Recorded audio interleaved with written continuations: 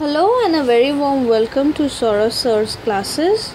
Today's tutorial will be on Ecotrix.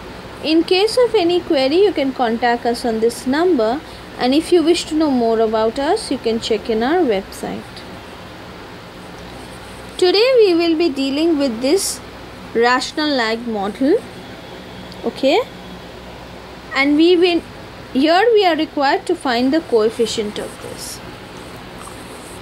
So, let us start. The ratio of polynomials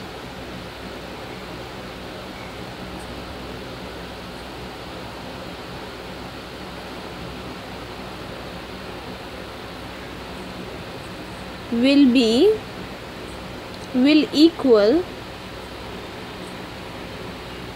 which is equal to what we have we'll write the function by 1 minus 0.6 L plus 0.5 L square. Okay. Now this will expand to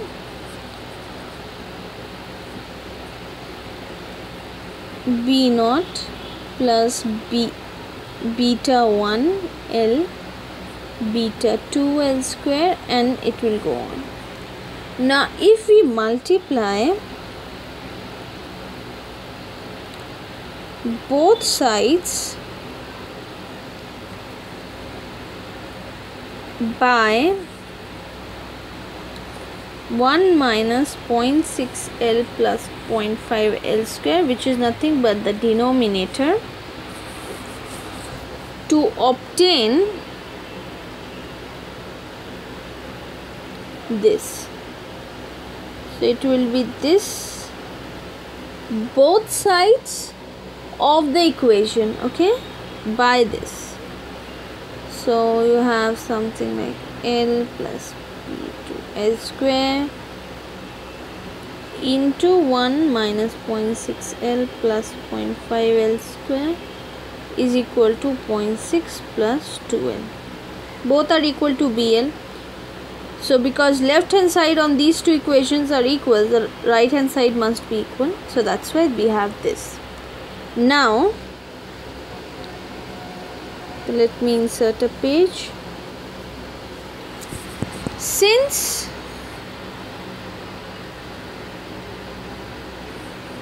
the two sides must be equal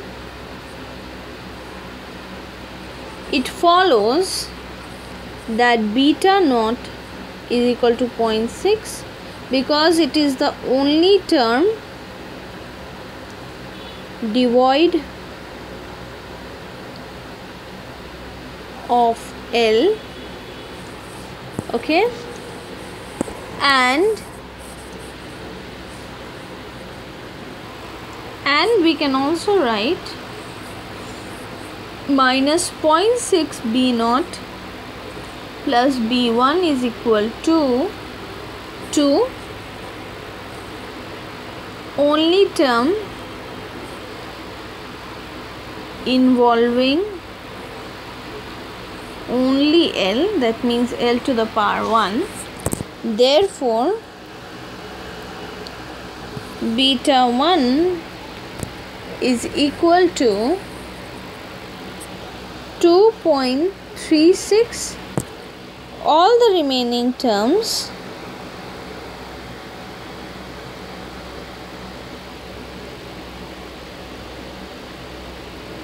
involving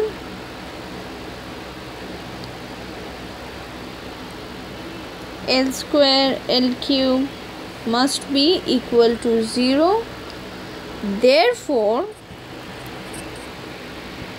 bj minus 0.6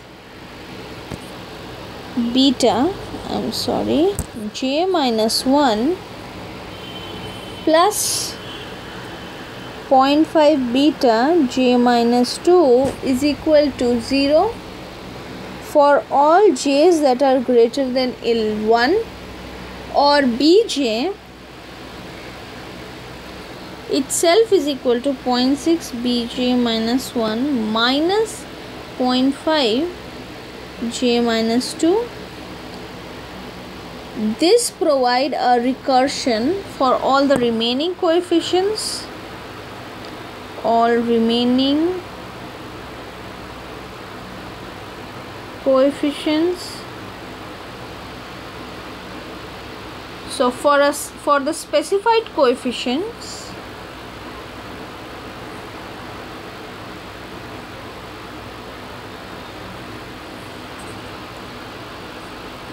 beta 2 is equal to 0.6 to 0.36 minus 0.5 into 0.3 and this is 1.266 and beta 3 is equal to 0.6 1.266 minus 0.5 to 0.36 which is equal to minus 0.4204 similarly we can calculate beta 4 as 0.6 into minus 0.4204 minus 0.5 into 1.266 which is equal to minus 0.88524 and so on. So I hope this short tutorial on Ecotrix was helpful. If it was then please hit the like button, subscribe to our channel and thank you so much for watching.